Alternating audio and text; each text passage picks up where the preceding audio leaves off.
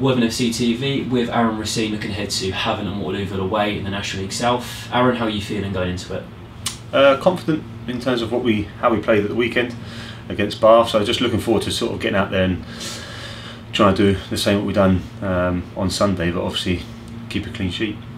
Yeah, big thing on Sunday. It felt like the team had plenty going for them to win the game, plenty of chances. Just didn't quite defend as well as you'd like. Do you feel like you've got that down pat in the sessions this week? Yeah, we're always working on obviously our, our weaknesses and how to be better, but equally as well trying to enhance our strengths and be better going forward still. Because you know, we were, I think we were brilliant on, on Sunday and how we played and creating chances, but there's still things that we can be better at.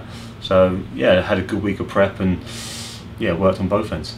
Looking at our opponents, it's a team that we've come across a few times in the last couple of seasons, and they seem to be different every time we come across them. We beat them 3 0 earlier in the season, but under a different manager. What are you expecting from them going into Friday? I think it'll be tough because of the position they're in. Uh, relegation battle, obviously fight for their lives, uh, and on top of that, they're at home, so that'll give them a bit of a, a reason to uh, show up and sort of come at us a little bit. So, yeah, not expecting anything easy about tomorrow, um, and just making sure that we're prepped for that. Talking about that defence and strengthening up the defence, you have made a sign with it being deadline day with uh, Cody Lyons Foster coming in. What are you expecting from him? He's coming in from Tonbridge Angels, a big defender. What do you expect him to bring into the team? Yes, he's a, a, good option in terms of a left-footed defender again, so it gives a bit more balance. Um, sort of across our back three or back four, however we play, um, but also as well just gives a bit more strength um, in depth going into the back end of the season and you know hopefully playoffs. Last year when we went into our playoff semi, we were quite lightweight and had a few injuries, so I think we're trying to uh, nullify that again, or nullify that this this season, uh, making sure we're sort of covered and ready in all positions. Saying about defenders, it's been a big thing with centre backs, making sure they can they can play with their feet as well as their head and being a defensive presence. Do you think Cody brings that? Yeah, from what I've seen of him, yeah, I think he, he can definitely bring that. He looks like a, a, good composed player on the ball, and on top of that, he's quite a good size and he, he looks quite dominant in the air. So, yeah, hopefully he can bring a good balance of both. Looking at the squad available to you for Friday? Is there anyone who might not be out? I know a couple of the players were about a week or so away, people like Ollie Wright and uh, Nicky Wheeler's injury issues he's having at the moment, but playing through. Greg Luer was a few weeks away.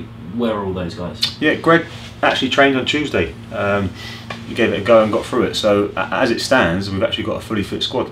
Um, there's a few niggles, which we've obviously got a man manager with game time and obviously training minutes. Um, but apart from that, we've uh, we've got a fully fit squad with the boys that were on loans that were still associated with us, like uh, Tommy Willard and Ollie Wright, whereabouts are those two?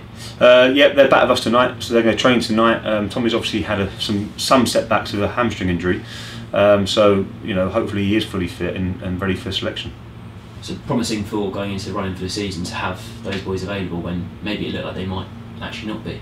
Yeah, definitely. Obviously with um, with lots of Ollie and um, Tommy's setbacks, it was yeah the, the season was coming close close to the end, and almost they were injuries were delayed a little bit. But yeah, fortunately we've got them back, and like I said, it's a it's a good it's a good problem to have in terms of how much how many players we have fit, and uh, going back into the, in the back end of the season, it'll be important to have a, a squad that size.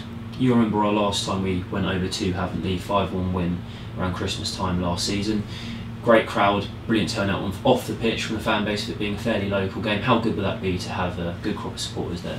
yeah, brilliant. I think this time of year, um, obviously the games we've been playing and the results really, I think we do need every little bit of help we can going forward, and I think they'll play that big part.